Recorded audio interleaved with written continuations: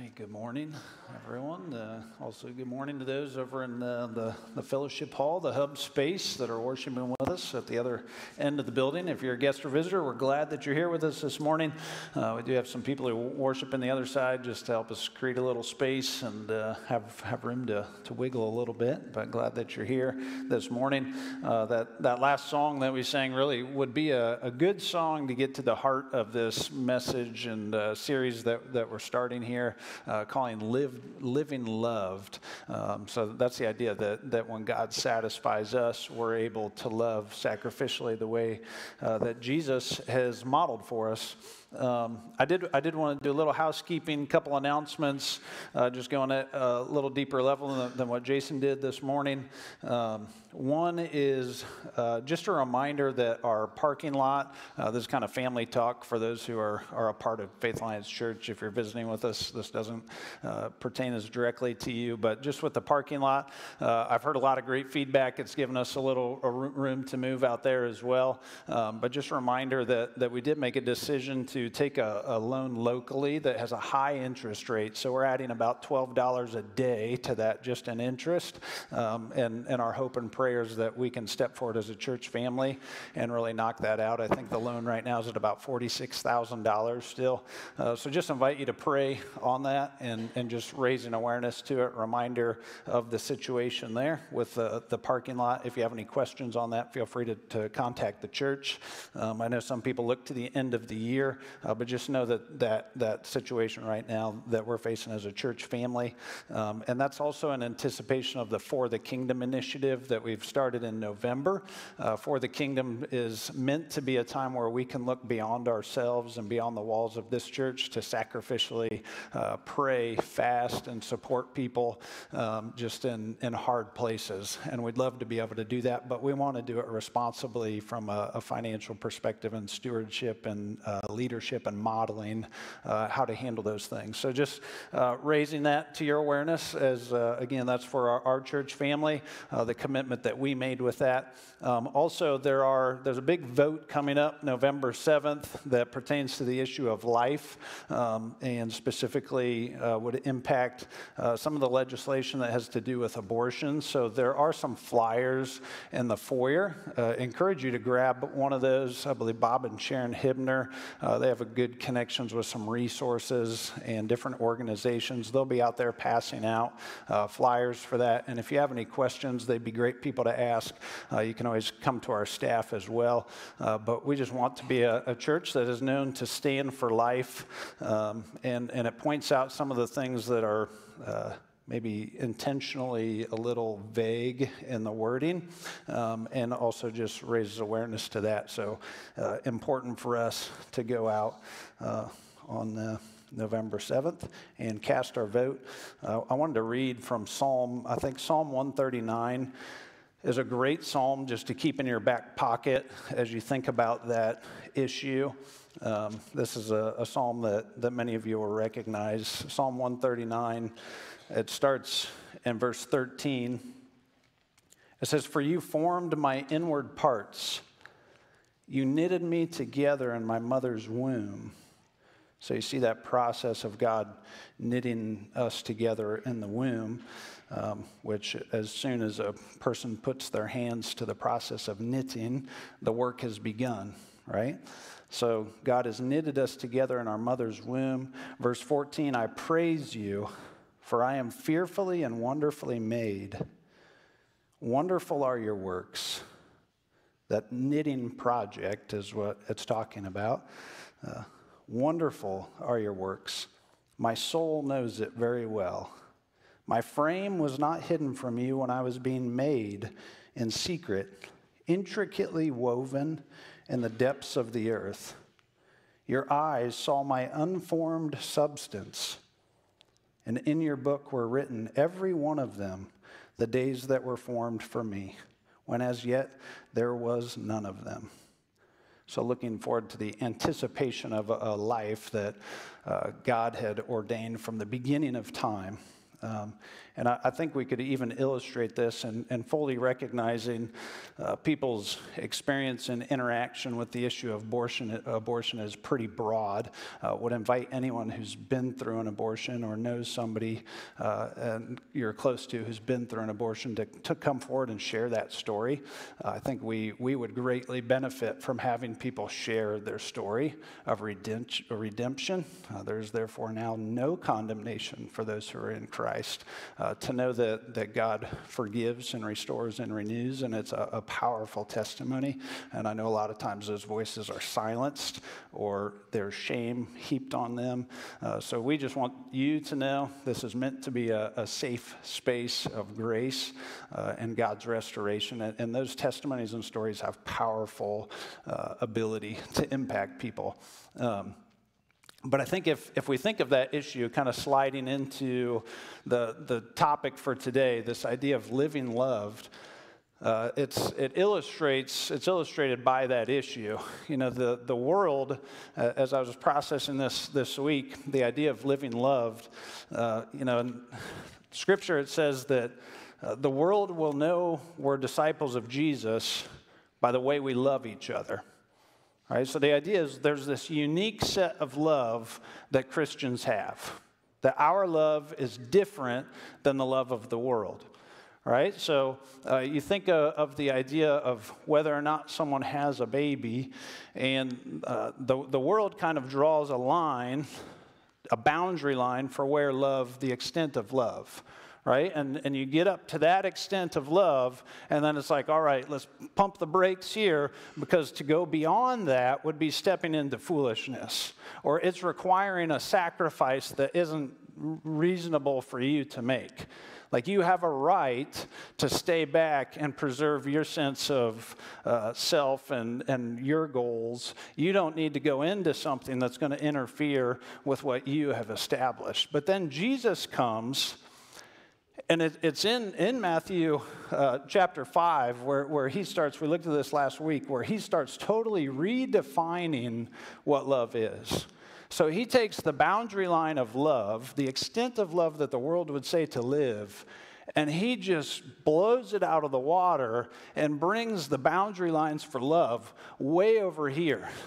So he creates a new possibility for the extent to which we can, really should love. And also, it's not just possibility, but it's expectation. That we would love to an extent that the world doesn't understand.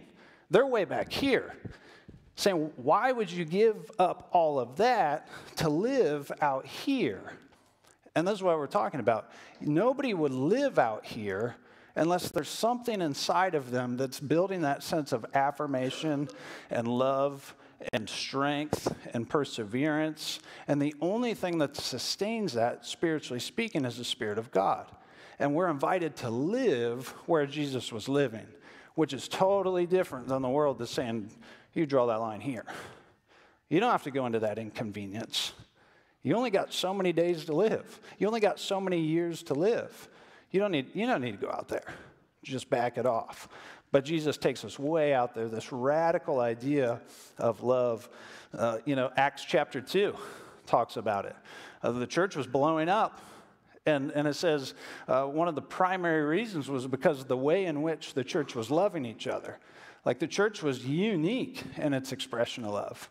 Uh, I mentioned a few weeks back when I was in sabbat- on my sabbatical, I was reading about the early church and the spread of the early church, and they said uh, one of the most significant things that led to the spread of the church in its infancy was the radical love of Christians who, whenever an epidemic broke out, which was happening all the time, right, because they didn't have antibiotics and all of that stuff, uh, there, an epidemic would break out, everybody would flee, hunker down, and find safety, right? COVID illustrates this. You go get safe, protect yourself. But at that time, the Christian people were stepping into it. And they were caring for people who were contagious, but were going to die because they wanted them to have a death with dignity and to be loved and cared for. And this radical love that was almost reckless by a world standard, they were loving way out here, and the rest of the world saying, hey, you could die out there and they're saying, we have a different cause. It's a totally different love. that Jesus has, has brought and introduced. So, my proposal through this series, uh, the idea of living loved, in the month of October, we'll be talking about this, but uh, I, I wrote it down this way Your ability to truly experience the presence of God and the advancement, to participate in the advancement of the gospel, depends on our willingness to love the way Jesus loves us. Your ability to experience the presence of God depends on our willingness to go out there. And if we just live here and talk about a Savior who lived out there that we loved, and we do love, that's where the idea of hypocrisy comes in because we're living here, but we're saying the ideal is out there. And we don't really experience God's presence we don't, until we shed all of this off and we go live out there, and you don't have all the things of this world to fill you, so you got to be out there with Jesus. And that's where his, you're going to start to experience uh, the fullness of, of who God is. Uh, but the problem is the, the world has drawn this line way short. Uh, the, the boundary lines are, are short. So uh, I'm inviting us today, this week, just to prayerfully consider uh, where are we living? And, and I've been thinking about this the idea of living loved as a, a phrase that I've been processing for a long time. And if I'm honest, even this week, uh, God convicts me in the areas where uh, the world's line is right here, and I'm doing this. Like, I don't, uh, that's hard. Like, all the way, maybe just one foot in, one foot out? Like, can't we win in the world and win with God? Do I really have to give up all of that? And, and I'll, just share, you know, in the upcoming weeks, I'll be able to share some of those examples probably, but um, it's challenging, but it's healthy. And uh, I, know he's been working on me. I, I, hope he, he works on us corporately uh, as a church. When it's rightly understood, uh, the concept of it impacts every bit of life. It's not about doing, it's about who we are as a people. Uh, so, I want to pray for us as we uh, open up this series and step into 1 John chapter 4 is where we'll be. If you want to follow along, 1 John chapter 4, I'll get myself there.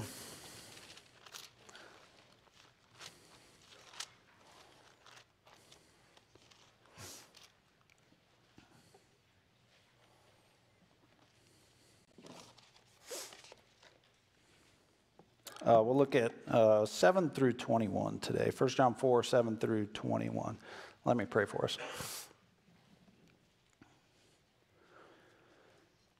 Father God, uh, we come before you this morning, and I'm, I'm, just thankful for this space, Lord, that where we can get together and gather as a, a people who are united under the name of Jesus. And Lord, I, know that uh, we have people here this morning from uh, just all different walks of life, uh, having been through all different sorts of experiences, uh, living in different realities right now, of uh, just facing different battles, or uh, maybe uh, having a week that went really well and, and they're just uh, on the mountaintops. And God, we thank you that, that you are a God um, who is worshiped in spirit and in truth and that we can meet you anytime in any place.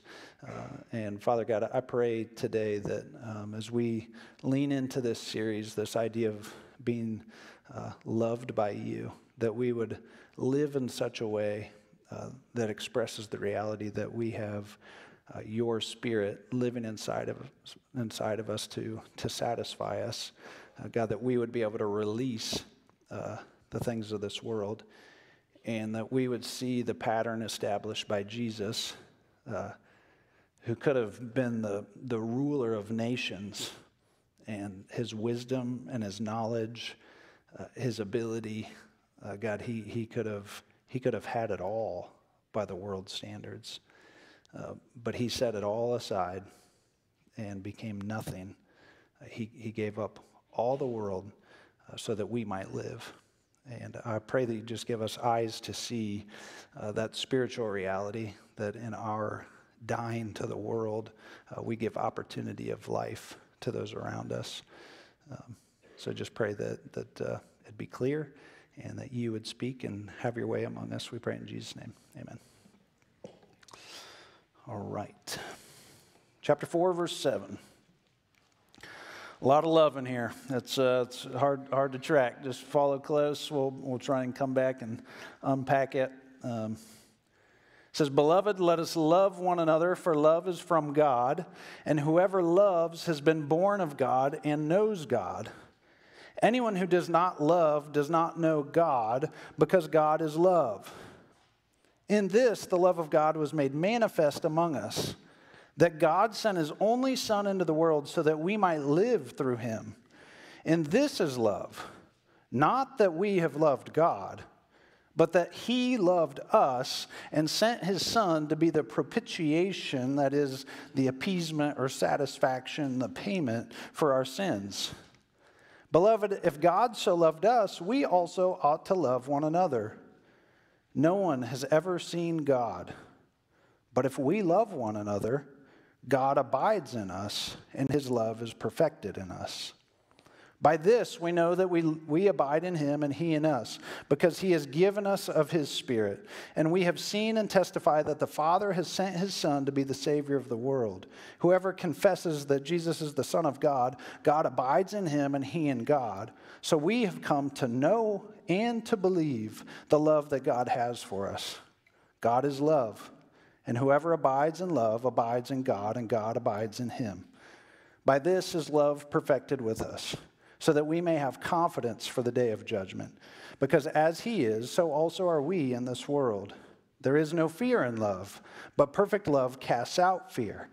For fear has to do with punishment, and whoever fears has not been perfected in love. We love because he first loved us. If anyone says, I love God and hates his brother, he's a liar. For he who does not love his brother, whom he has seen, cannot love God, whom he has not seen. And this commandment we have from him whoever loves God must also love his brother. A lot of love. That's what defines us. Uh, John, John seems to have kind of the curve on the idea of love and the Spirit. Uh, the Gospel of John and the letters of John are, are great resources if you're looking for a space to, to process a, a theology of how we should love other people. Uh, how do we break this down? It's probably important to start by recognizing the reason for which John was writing this. Uh, he was writing to a, a, people who were facing some heretical teaching uh, connected to the idea of Gnosticism. So you've heard of Gnosticism, which really separates spirit and material, that the material is all bad and the spirit is good. And there's even ideas that, well, Jesus came in the spirit, but not in the flesh, like he was just a, a spiritual being.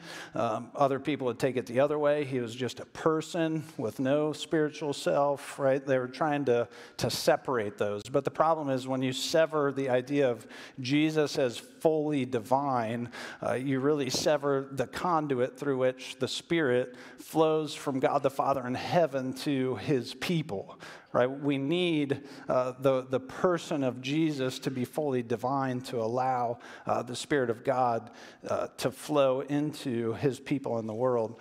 Um, and, and these people were coming and, and basically saying that uh, Jesus was not uh, fully God's son, uh, he was just spirit. Uh, and, and we see the importance here that, that Jesus is both. Um, because for the Christian community, for us, it's the spirit filled Jesus who defines what love is. Right? That's the only way that happens, that he goes and, and sets the life, the life that he did, that sets that new boundary line. Uh, so we look at verse 9 and 10. In this, the love of God was made manifest among us, that God sent his only Son into the world so that we might live through him. Uh, we pause there a little bit. This idea of being manifest among us, that's just, it's made visible among us. So, so God's love the being of God, was made visible in the world through the person of Jesus. Jesus is the one who manifested that. He made it, he made an expression of God's love. So we can literally look to the person of Jesus and see how he's living, and we would see how God would want somebody to live. We see the heart of God in the person of Jesus. It was manifested in physical expression, God's love. So it's manifest among us. Uh, God sent his son into the world so that we could live, right? In this is love. Not that we have loved God, but that he loved us and sent his son to be the propitiation, the appeasement for sin. So, the purpose for which that love gets stretched way out is to bring life to a people who don't have life. It's the same for us. The, within the church, the reason God calls us into a life with Christ that's way out there is so that a people who don't have life might have life. He works through us. We now are the ones who get to manifest God's love. The text says nobody has seen God. But when we love others the way Christ loved, it's expression of that and makes it visible. Jesus is the image of God's love. Jesus shows us there is this way possible. He creates new possibility. Because before humanity said, no, you draw here. That's the Beatitudes, right? You read them. And, and remember, just a few weeks ago, I was saying, uh, Jesus points out, he's like, You have heard that it was said, right here. But I tell you further. Turn the cheek. Somebody smacks you. Go the extra mile. Redefines uh, marriage, redefines adultery, redefines everything, just totally redefines what it is to love somebody. Jesus creates new possibility. He manifests, he makes known a form of love that the world didn't previously know. Uh, I was reading from Pelagius this week. Uh, Pelagius is probably most known for some of his goofy theology, so I, I wouldn't recommend him as a, a, theologian, but he did have some good reasoning. Uh, Pelagius was a fourth century theologian, so he's writing way back uh, early in, in the, the history of the church. But he says this, I think it illustrates really well what we're working through. He says, We distinguish three things, and we arrange them in a definite order. We put in the first place possibility, what is possible. And then in the second, volition, or our will, right? What we have, desire isn't fair, what we would will to do. And in the third place, actuality. So, what is real? What's possible, what we will, like we kind of know we want for ourselves, we have ability to choose that, and then what's reality? The first of these is properly ascribed to God. God establishes what is possible for all of us, for all of creation. While the other two are will, what we want of ourselves, and what we actually do are reserved for us, right? They're referred to the human agent. Therefore, man's praise lies in his willing to do a good work. Or rather, this praise belongs both to man and to God, who has granted the possibility of willing and working, and who, by the help of his grace, ever assists in the possibility. So let me break that down a little bit. The idea is there's a possibility that God has set. Jesus showed us what was possible. Before the world's line was here, and they said to live out there is foolish. You don't give up all your stuff when you're going to wreck your own family for the sake of somebody else. And Jesus says, Oh, yes, you do. And that's actually how life comes. So he creates a new possibility. And then uh, we have our will. And for the will of the person in the flesh, the line is right here. There's no desire to live out there. Why would you live out there? Why would I have a child when it means I can't go to college anymore? Why would I have this child when it means it's going to interrupt my family? Why would I have this child if it means it's going to interrupt all my future hopes and dreams? Draw the line here. And that's where the will stops. But for the Christian who has the Spirit of God, the will is awakened. The will is breathed life. And all of a sudden, we have a desire, our volition is to live out there in a new possibility. Now, what is reality? What's actuality? That's my struggle. Sometimes I want to straddle it. But the Spirit of God is saying, and this is what, if we're in tune with the Holy Spirit, I think this is what the Spirit, in His grace and His power, continues to do. He starts to challenge that. He says, No, get out there. Come out with me. Peter, get out of the boat. What a good illustration. Get out of the boat, Peter. Come live by me. And he puts his eyes on Jesus, and man, he's right there. You start looking back, Israel illustrates it throughout the Old Testament. They wanted to go back to Egypt.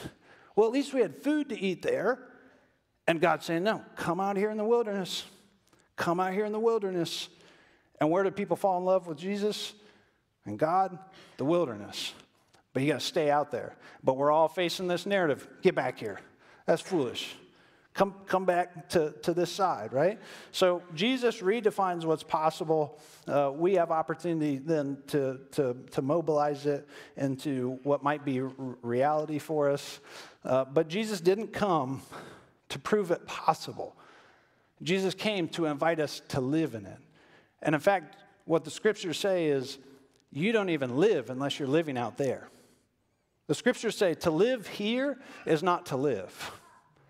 It's no life because you have never tasted of this source of love that only God can give. So he's saying, until you make that leap of faith, you know, the rich young ruler, he's, he's right here. And he goes to Jesus and he says, Jesus, what do I have to do to inherit eternal life? And he says, We got to follow all the rules. Yes, I'm doing that. And then he says, okay, now go cut off all that you have, right? Surrender all that you have and come follow me. And what's he do? He puts his head down and he goes back because he had great wealth.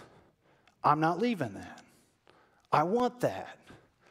And, and what the song that we sang is getting at is do we trust the Spirit of God will satisfy us? It will. He will.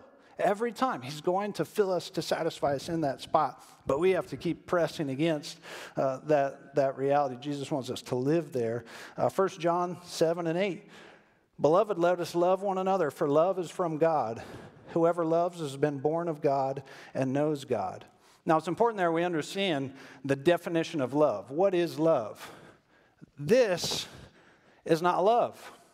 It's not talking about that right? When it says, uh, verse, verse 8 here, anyone who does not love does not know God.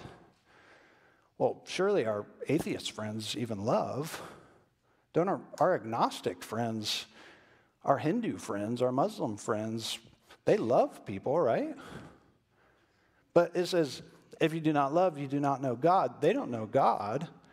And what's getting at is yes, they, they understand a love here that was pre Jesus pre Beatitudes. And, and they're expressing that love. They know nothing of this love. And that's what Scripture's saying. If you don't love beyond the line of the world, you don't know God. Because God lives out here. And I think there's so many people in the church, the line's here. I love that guy who lives out there, but I'm not about to go out here with him because I want this right? So we have an intellectual understanding. I love that Jesus, and I love what he did for me. He came over here so that I could see over there. And we look over there and we're like, He is a great Savior. But man, it is hard to say, let it go, so that you can live out here. And I think the spiral of the church, the decline of the church in, in the world today, it's, it's, it's here, and they're saying Jesus is either totally, this is totally a spiritual thing and doesn't require our physical participation, or Jesus was just some physical guy, so we don't have the spirit to empower us out there. And we've seen the cutoff right here where we get to manage what love looks like. The church isn't living out here. What led to the explosion of the church? People who lived here, sacrifice, right? Unique love. Totally, I mean, the, the line was hard, drawn hard in the sand, right? The clear distinction. Those people must be with the Christians because they live different. Now, is there, if we assess our church family, we're about to all scatter out into the 17 mile radius, is there difference in our lives? Or do we kind of look the same as the people down the street? That's what I'm asking myself. What am, what am I doing? And it can't be in my own strength, or there's no joy and there's no sustainability, right? But am I open to the Spirit of God saying, hey, come a little closer? And I think with maturity, as time goes on, we should be trending in this direction, right? Sometimes I see this people are trending in this direction, but then a, a, a season in life comes and you're like, man, I only got a little bit of time or something, and we fall way back here. Just a little more of this again. We sang this morning, teach us to number our days. The purpose of that psalm or proverb is that we would have uh, a recognition that, that life is like so fleeting. Like we think, man, I, I just want, I just want five more years in here. Just, I'll just have a good time in here. I'll really enjoy it. And then when I'm a little bit older, I'll surrender a little more to Jesus. It's like so quick. And it can be stolen so quick. And it's saying, just teach us to number our days. Like it's just one day. It's, it's not, don't look at the big chunk. Just give it to him today. And when you wake up tomorrow, give it to him tomorrow. And when we wake up the next day, just one slice, right? That there's wisdom and number in our days, uh, that Jesus invites us in there. Uh, so, what's it all mean? Uh, kind of lost my spot. Our atheist, agnostic friends, they love as well. Uh, I wrote it this way but they don't live in the place of Jesus' love, and they don't love with the purpose of Jesus' life. And that's what he's inviting us into. So we can't forget that this line is drawn really uh, by a consumeristic society that doesn't seem beyond this life and just wants the best for me and mine. But Jesus in John 4 10 clearly says it. Uh, and this is love. Not that we love God, but that He loved us. Right? This is not love. When I sit here and say, I love you, Jesus. Thank you for, thank you for coming me and opening my eyes to see you. And I'll see you as soon as I die. Right? This is not love. Love was Jesus coming into this mess and saying, I'm leaving all the glories of heaven behind so that you might have life. And he's saying now to us, love, love is not, hey, Jesus, love is going out into the mess and carrying the weight so that somebody around us might have life. That's love sacrificial. You know, we, I, I wrote down, we picked the fight, but Jesus took the punches. Right? To love is to come alongside of somebody who is not going to give you anything in return. Or, or to love somebody who gives you no benefit. They don't get you down the road socially, they don't get you down the road economically, no benefit. It's saying, I'm going to carry your garbage so that you have a chance to see the love of Christ. I don't want to do that. That's hard. And I'm with you.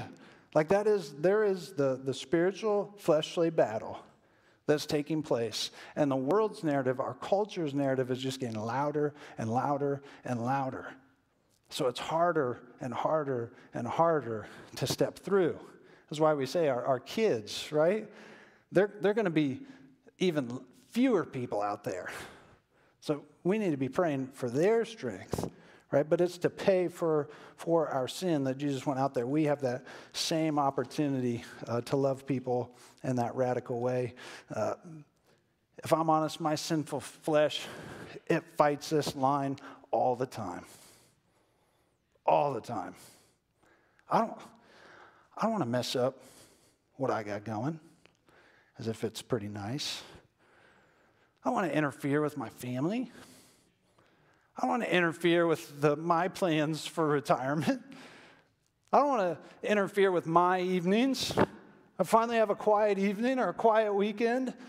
Man, if I'm honest, there are people that I draw this line here, and I see people out there. It's like, man, to, to love that individual over an extended amount of time does not sound interesting at all.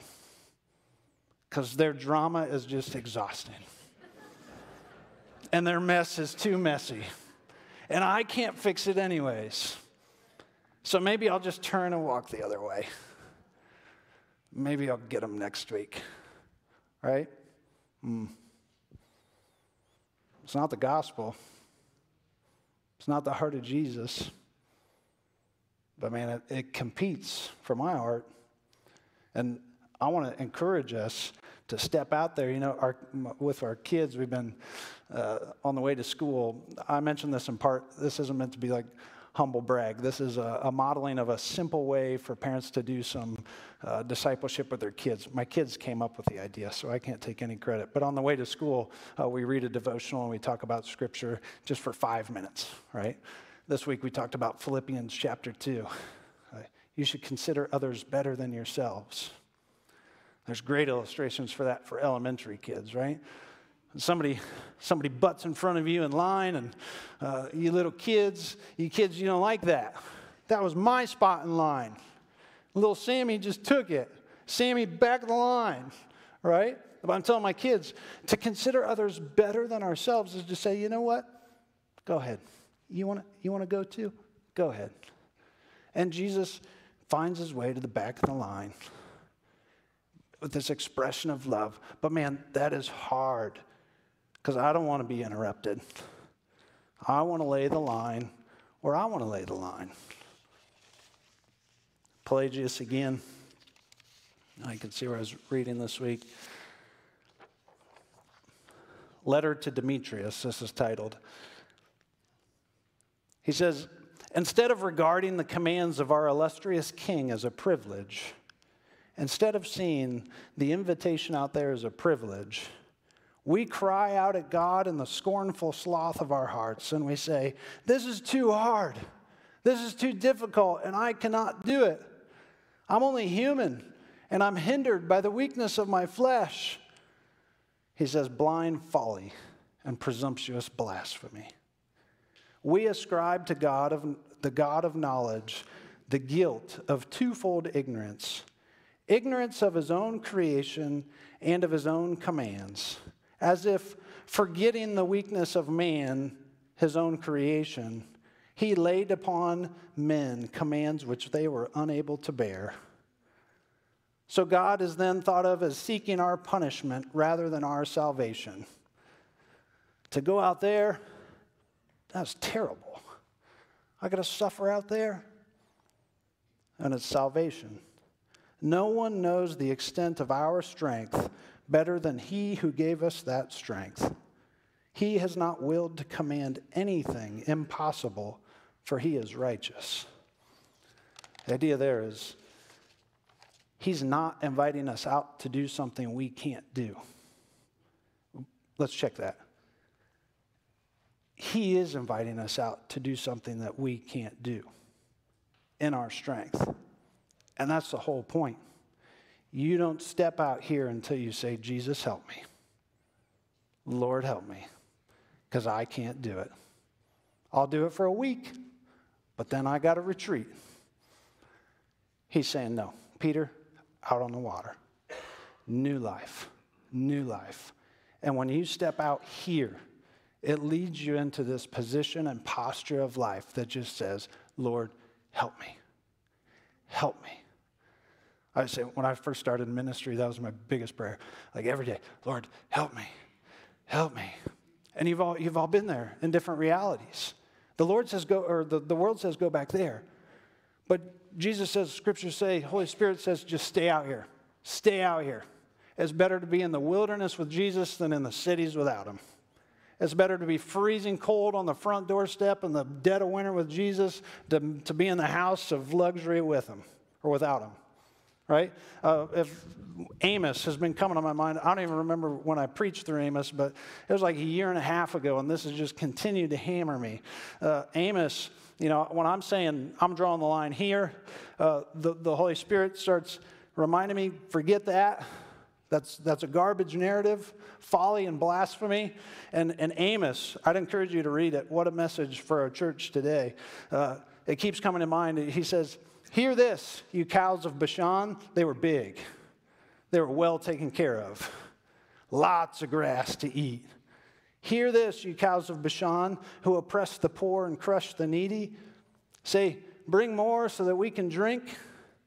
Woe to those who live in their fancy beds at night and sprawl on their couches. They eat fine meat and they drink wine. They spray their perfumes. Yet they have no grief over the ruin of Joseph. That gets me. Oh, Lord, I'll just sit here for a bit, get my nice stuff, and no grief over the state of the church. Just going down the tubes, right? So, this series this morning, uh, an invitation for us to, to go with Jesus. And if you're somebody who hasn't experienced his power and his love and his kindness, it's out there. And it can't be had from here. If, you, if you're in a spot where you're like, I've always kind of believed it, but I've not, like it hasn't taken hold of me, you got to go out there. You got to have, you got to learn what it means to say, this is garbage compared to out there, right? It's totally transform a totally new life. Um, I'm going to I'm gonna stop us there so we can have our communion in time. Uh, verse 13 and 16 is where I was going to wind down, and I'll just say this with it. Uh, whoever confesses that Jesus is the Son of God, God abides in him, and he in God.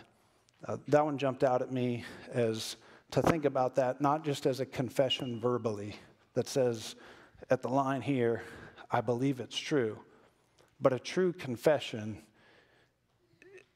is taking the step.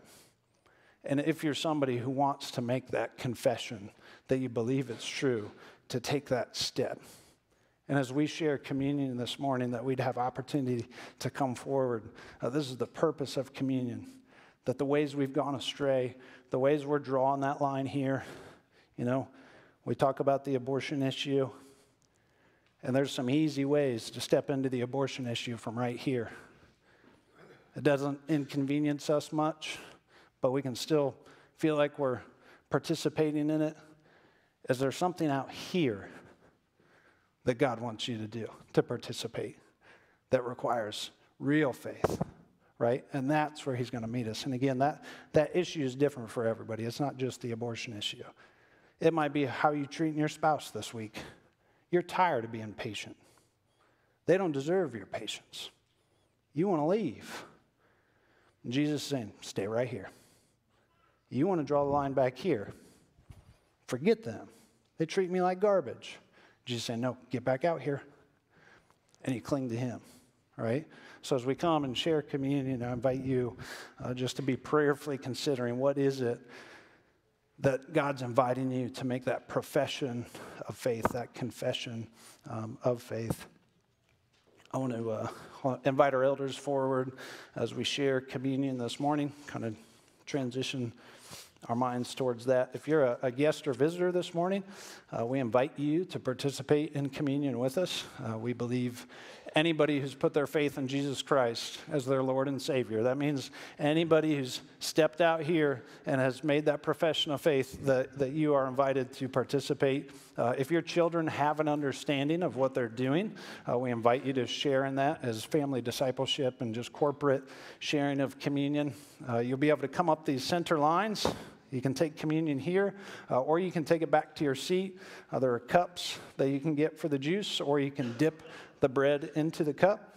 Um, there's also a station over here in the, the hub space in the fellowship hall. There should be some people up front, uh, so you'll just be able to come forward and have a seat. Our worship team will be praying, playing as well. Um, I want to read a passage for us, set our hearts for script or for, uh, for communion. 2 Corinthians chapter 5,